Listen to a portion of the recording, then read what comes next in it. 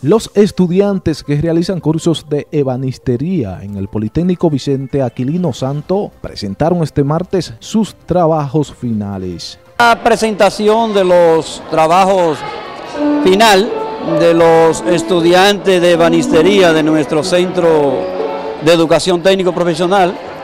Como tú podrás ver, eh, es una presentación de cada trabajo que realizan los los tres grados que tenemos acá del Politécnico. Puede observar la terminación, son trabajos de terminación de primera.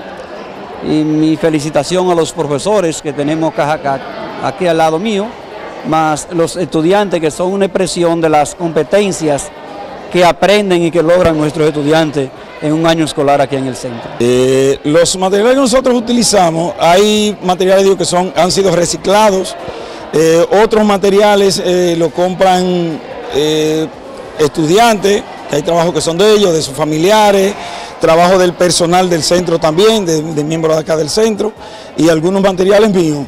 Ha sido una experiencia muy agradable, no esperaba estar en ebanistería, pero la verdad ha sido de mucho agrado para mí y he aprendido muchas cosas, como podemos ver en cada cosa que hemos hecho.